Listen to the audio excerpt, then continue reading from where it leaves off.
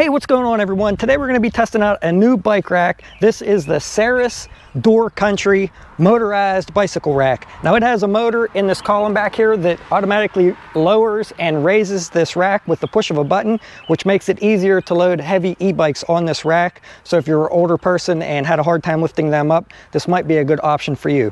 Now there are some negatives to this bike rack that I didn't particularly care for, which I'll get into later on in this video. And I do want to mention that they did send me this bike rack for testing and review and I'll leave a link down below in the description if you guys are interested in purchasing one of these after you guys watch the, the video if you think it's right for you. This rack is rated for up to 60 pounds per bike. So you do guys do have to watch what e-bikes you put on here. The Lectric is just under 60 pounds if you remove the battery.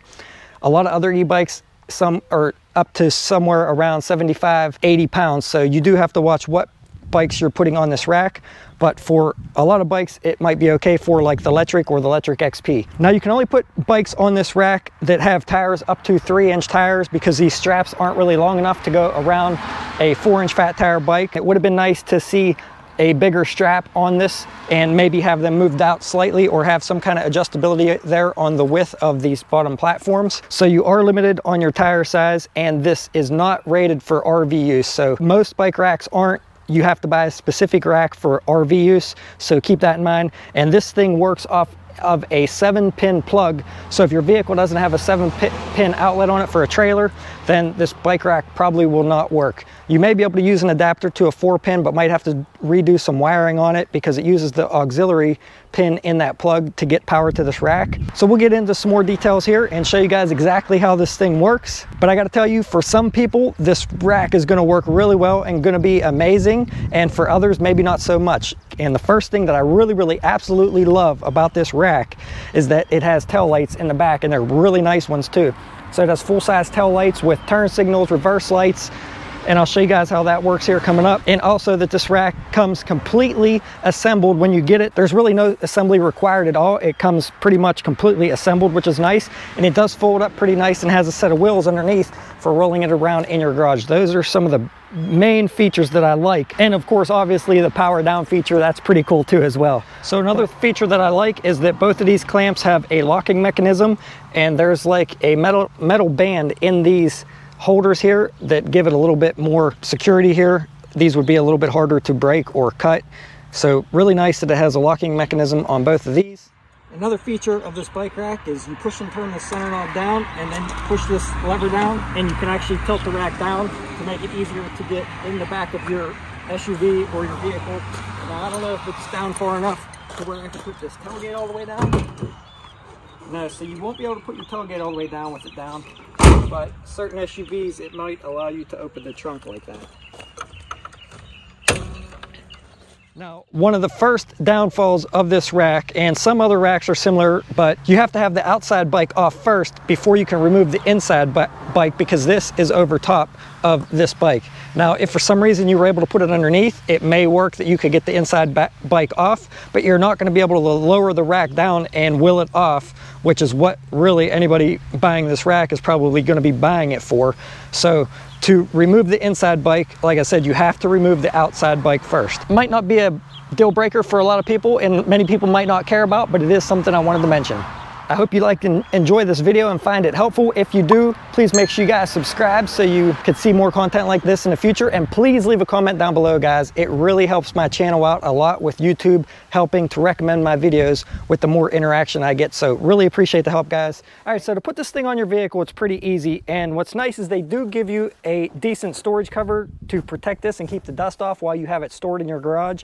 Now, I don't think this is a transportation cover for going down the road because there is no way of mounting this onto the rack. It would have been nice to see some clips or something and it would have been nice if this was a cover for going down the road to keep your electronics and everything out of the weather. Now I'm sure they're weatherized and shouldn't give you a problem, but it would have been nice to have a nice cover going down the road if you weren't using the bike rack and it was still on your vehicle. Now I'm sure maybe you could put this on and wrap a strap or two around there and it would stay on there, but I'm not sure how it would hold up going down the road because like I said, it doesn't seem to be made for that. To put this on your vehicle, all you do is pull this pin out here,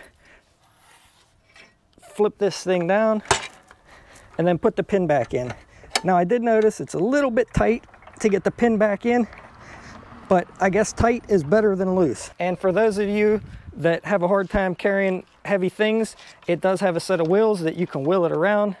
And if your vehicle was low enough, you could actually plug this into your vehicle, hit the button, and this would come up to the height of your hitch and you just slide it right in.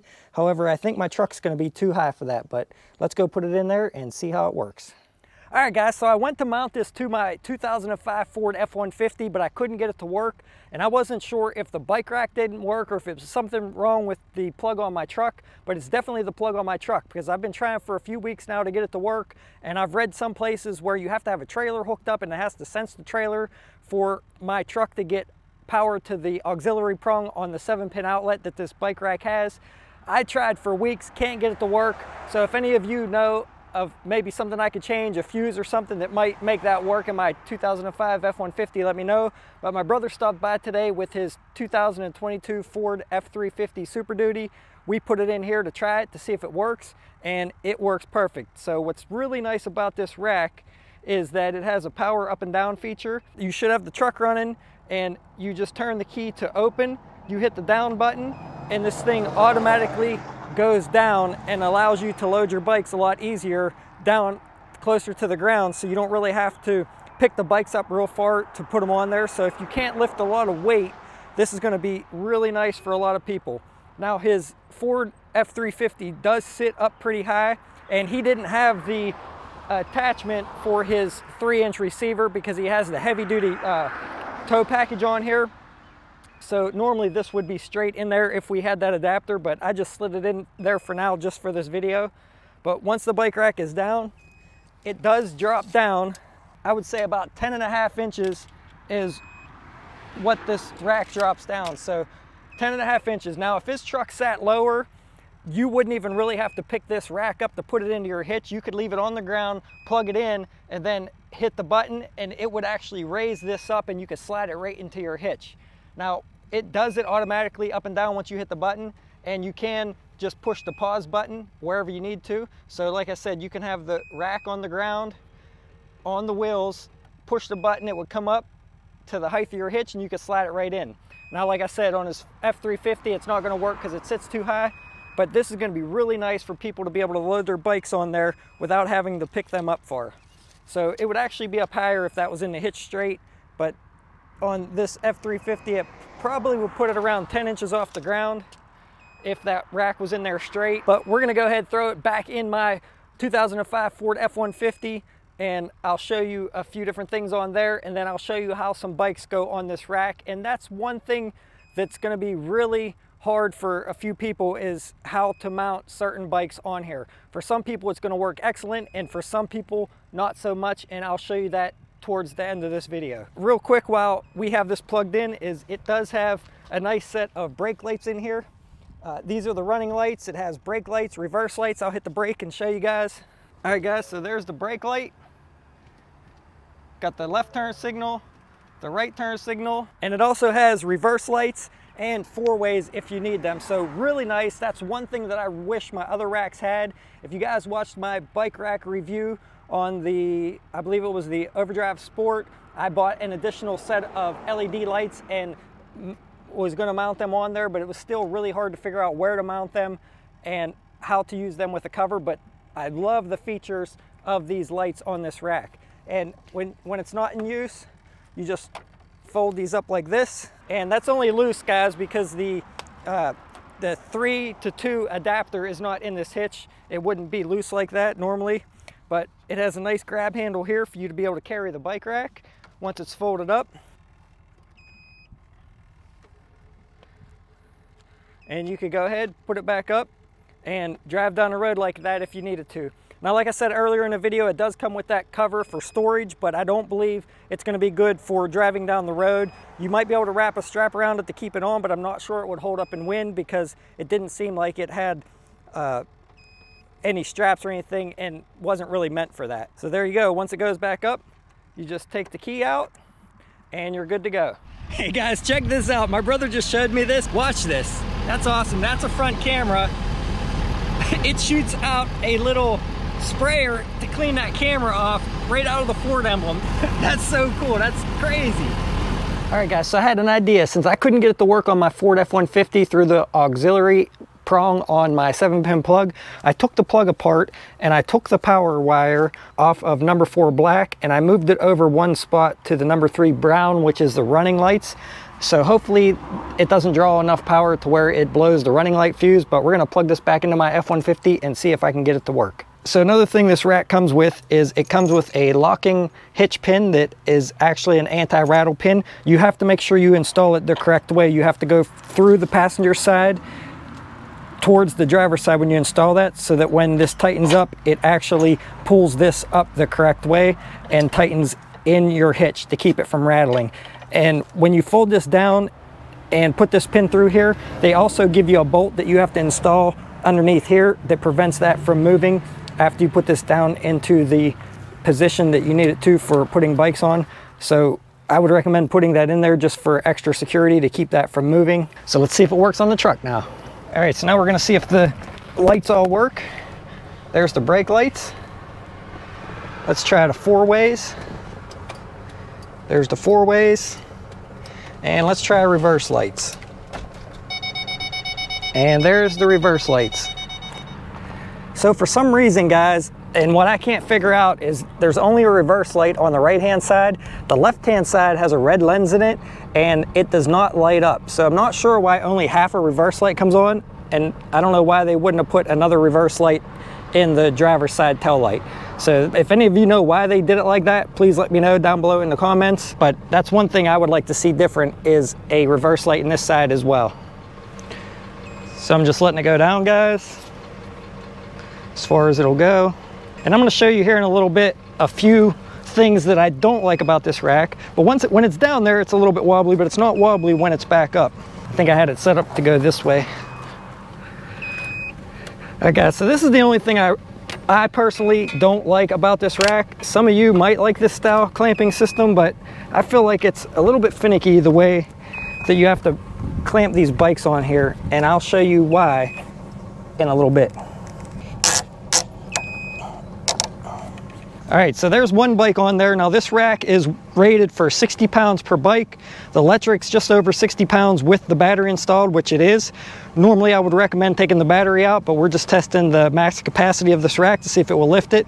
So my son's gonna go ahead and get up on there. He's just under 60 pounds, about 57 pounds. And we're gonna see if this thing will lift 120 pounds up. So hit the plus button.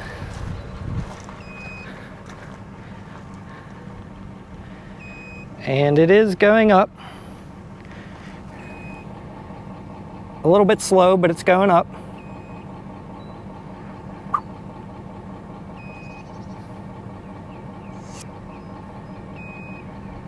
Very slow, actually. But that's okay as long as it goes up.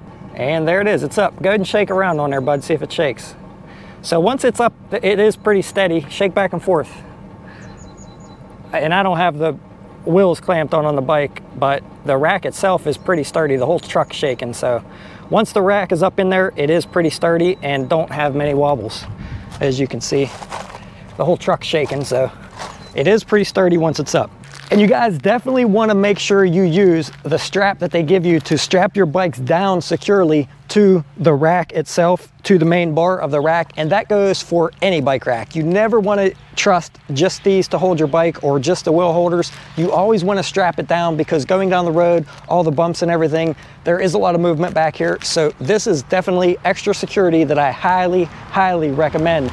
Never do not use one of these straps or some kind of strap to keep your bike held down in addition to the clamps. All right, so this is my first attempt at trying to mount my Lectric and my G-Force bike onto this rack. Now this rack is not made for four inch tires. It says maximum three inch, but these straps where they're located, they, this one, I barely got the clip in there and the front one the same. It seemed, to me, it, I feel like the straps should have been further towards the ends or these should be a little bit longer first of all. These are just like a plastic and there's really no rubber that goes on these to protect your rims. That would have been nice to see some type of rubber or something that's like this that's on these that would help protect your rims whenever you tighten up the straps. So now I got the Lectric step through on there and it's up against the inside and I did figure out a way to get this strapped onto the seat post. So that one's not too big of an issue. And the Lectric 2.0 does have three inch tires, so it does fit on here and you could tighten these down. But again, it seems like they are a little bit too far this way, like the straps should have been back here maybe there and there I would have liked a little bit better.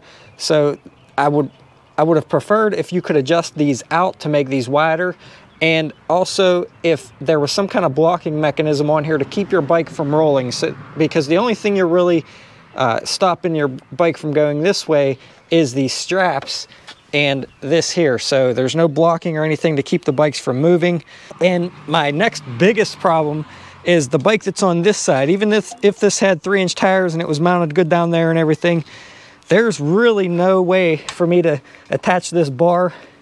I can't really put it down there to that because I can't get it over far enough because I have to have the bike exactly where it's at for them straps to work. So I can't attach it there. And when I have this bar attached up on the top here, the clamp is not big enough to go around this tube here and I can't get it to angle far enough this way because this does not turn that way. It's just however it comes off of this bar is how it is. So let me loosen this up a little bit. Now I can put it around here, but I really don't like the way it is right there. I mean, there's it's almost on an angle, but it's kind of pulling it this way as I tighten it.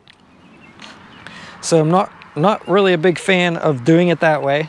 And you can see if I pull it down around here, it's actually going up on an angle at that point, and this is resting against the frame, and I'm still not far enough back for it to attach to the seat post or this seat tube here. So if this bar was about a foot higher, I probably would have been okay because I could have put this one on the side here, just like this one, and then took it straight over to the seat tube. But with this bar being down this low, you're really limited on how far you can come up with height-wise to attach to your seat post tube. And these bikes do sit a little bit lower compared to a lot of my other bikes. So I'm kind of concerned about that as well. But I am going to try a few different bikes on this thing to see how they would work. But there's my issue, guys. I got the one on, got it clamped. Nowhere for me to really put this that I feel secure enough to where this isn't going to rub on this bike or really just nowhere for me to put it and I can't move this Lectric 2.0 forward or backward because the straps are fixed where they're at and there's not enough room to move it forward or backward. And then also if I did move it, then this one wouldn't be long enough to hit this seat tube here. So this bike has to be where it's at. I could turn it around, but I don't think it's gonna make a difference. All right, so this is my second bike, second attempt. Now I was able to put the Ride1Up 700 series on here with the Lectric 2.0 step through. However, this is the only place I could attach it that bar is still on an angle and still pretty close to the Lectric frame. There's a little bit more room here, so not as bad, but I'd be afraid going down the road. Eventually, maybe something hitting some bumps and this thing moving just a little bit that way and nicking up this frame possibly. And just don't know if I'm a really big fan of the way these hold here. Now this is like a ratcheting system here, but this lever is plastic, so I, am I'm feeling like maybe that might possibly break if you were trying to ratchet it down too tight. You can't go too tight on it. That's probably pretty tight there. I mean, it seems like it holds it pretty decent. So now I would normally have these bikes strapped down with straps also, but if you were going down the road, hitting bumps, you can see how the Lectric's moving back and forth. and I don't think straps are going to help that too much. So not sure if I like the way these clamps work.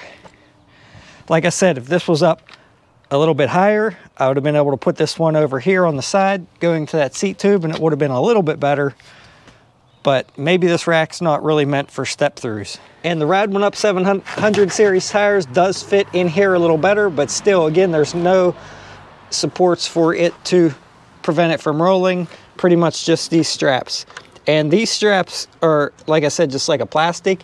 Now these upper ones on these mounts do have like a metal band in them, so I'm sure these ones are gonna be a lot stronger.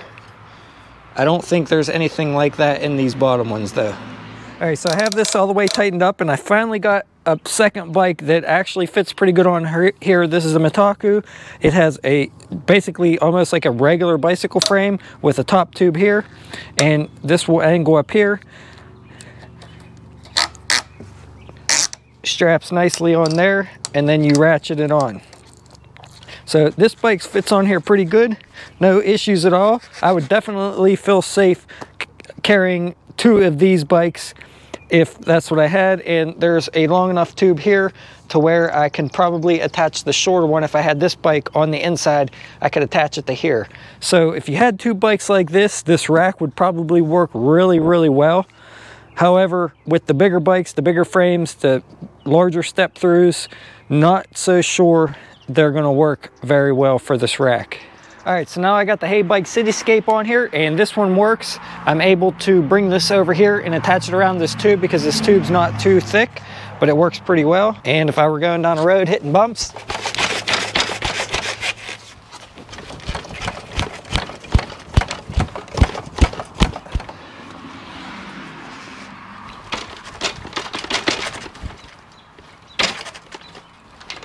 So these two bikes work pretty well on here. All right guys, so as you see there, I think for some people this is gonna be a really great rack and for others, maybe not.